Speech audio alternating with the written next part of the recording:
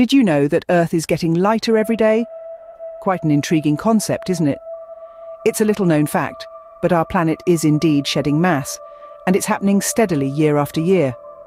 Let's take a closer look at the numbers. Every year, our planet gains around 40,000 tons of weight from space dust that settles on its surface.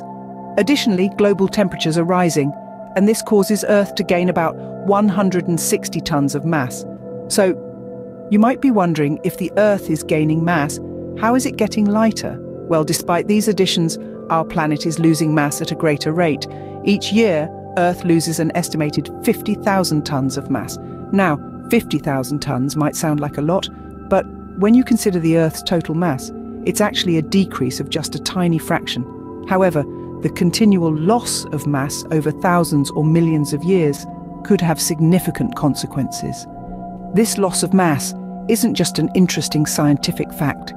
It's a topic of concern that has implications for our understanding of the Earth and its future.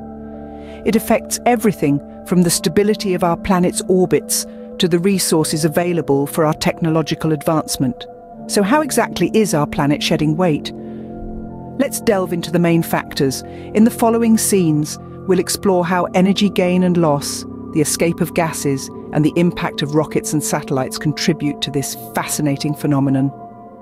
Stay tuned as we unravel the mystery behind a lighter Earth. One factor contributing to Earth's mass loss is the energy added to our system. It may sound a bit abstract, but let's think about it. We're constantly bathed in light and heat from the sun, right? And that's not just light and heat, it's energy. According to Einstein's famous equation, E equals mc squared, energy and mass are interchangeable. So when Earth absorbs energy, it gains a little mass. Yes, you heard it right. Our planet gets a tiny bit heavier every time it basks in the sun's rays. But what about other celestial bodies? The moon, stars, planets, they all emit energy too, don't they? Well, yes, they do.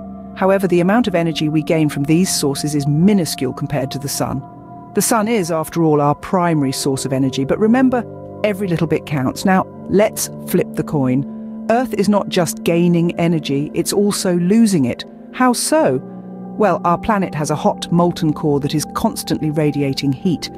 This heat is energy, and as it escapes into space, it takes a little mass with it. Imagine Earth as a giant glowing ball, slowly radiating away its energy.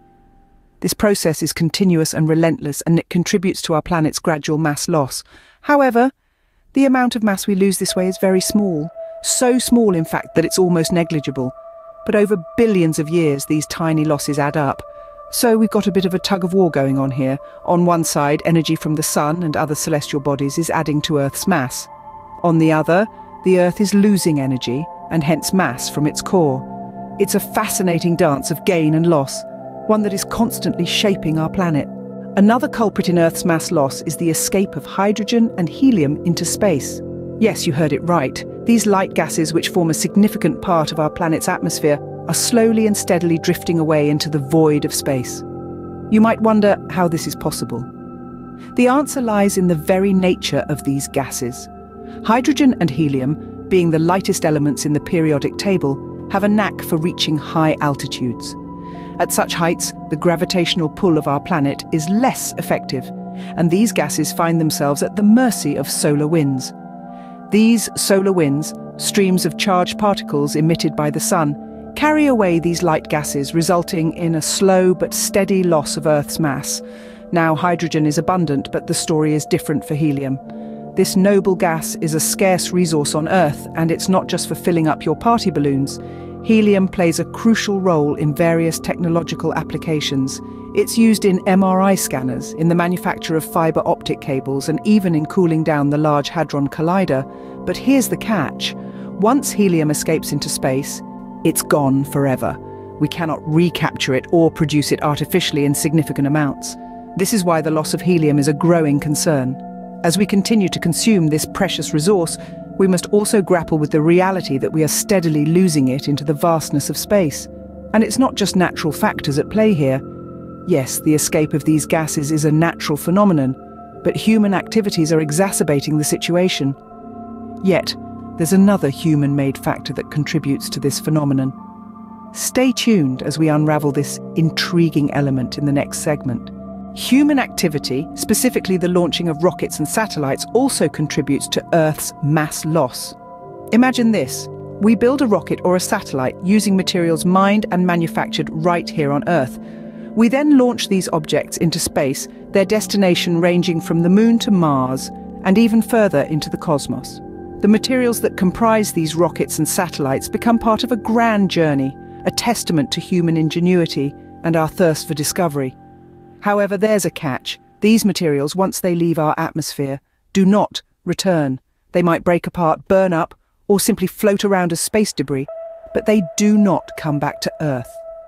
This means that every rocket launch, every satellite that we send into the abyss, contributes to a small but significant loss of Earth's mass. Think about it.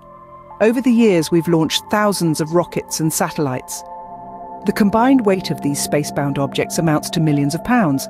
That's a lot of mass to simply wave goodbye to, isn't it? Of course, compared to the total mass of the Earth, these losses are minuscule. But they are losses nonetheless, and they add up over time. Each launch, each exploration mission, each satellite peels away a little bit more of our planet's mass. Furthermore, it's not just about the mass that we're losing, it's also about the resources, the metals, the fuel, the components. These are all finite, and every time we send them into space, we're using up a tiny fraction of the Earth's total resource pool. So, while our exploration of space is undoubtedly a remarkable achievement, it comes with its own set of consequences. As we continue to reach for the stars, we must also take into account the impact of our actions on our home planet. So what does all this mean for our planet? While the loss of 50,000 tonnes annually might sound alarming, it's important to put it into perspective. Let's revisit the key points we've covered. Earth is losing mass due to a variety of factors. Energy added to our system, rockets and satellites returning to Earth, the core of our planet losing energy, and the escape of hydrogen and helium gases into space. However, it's also gaining mass, albeit slower, through space dust and rising global temperatures. Now let's put this into context. 50,000 tonnes may seem like a massive number, but when we compare it to Earth's total mass, it's actually minuscule. Imagine a football stadium filled to the brim with sand. Now compare that to all the beaches, deserts and sandboxes in the world. That's the kind of scale we're talking about here.